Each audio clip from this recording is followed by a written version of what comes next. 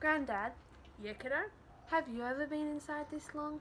Sure, when I grew up, when I was about your age, there was this, uh, this explosion at a lab right next to, to our family farm. An explosion? Big one. The farm was okay, but the lab, you see, it had been working on a new kind of cake, vanilla one, and there was so much vanilla dust in the air. I've never heard of vanilla dust. Oh, it's a thing. There was so much of it you couldn't breathe. They made us all stay inside for a while. How long's a while? Six years. Whoa! I was 11 when I came in from playing cricket, 17 when they let us out. Is that true? 100%.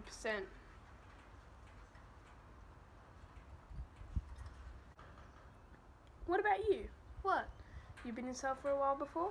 Well, I was grounded for four days once. What did you do again? Robbed a bank. That's right. Get away with much? Two million. Good effort. And there was that excursion I went on. Yeah? It was a, a submarine one. Submarine, is it?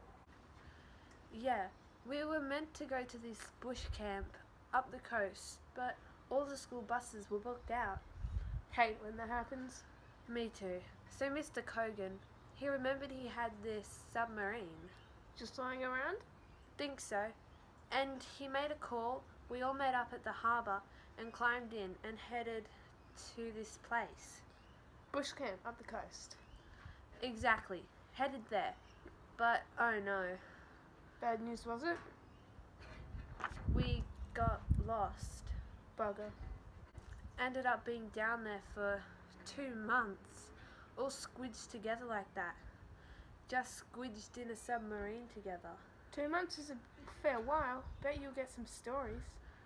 Mm, nah, we've never really talked about it since it happened. Why would you?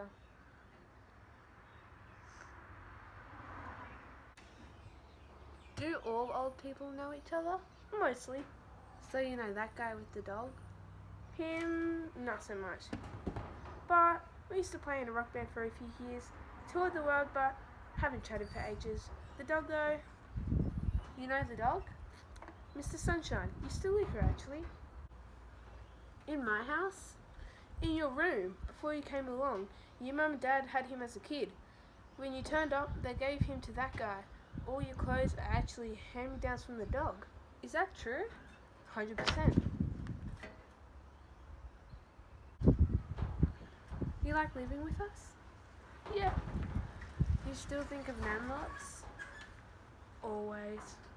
At least a couple times of an hour. Like when something reminds you of her? Nah, it's just like she's waiting off to the edge. Like you and me can be chatting. Or we're all eating tea and she's just th- just there, just smiling, just watching. She was always quiet. Mm. She there now? Of course she is. Is that true? 100%.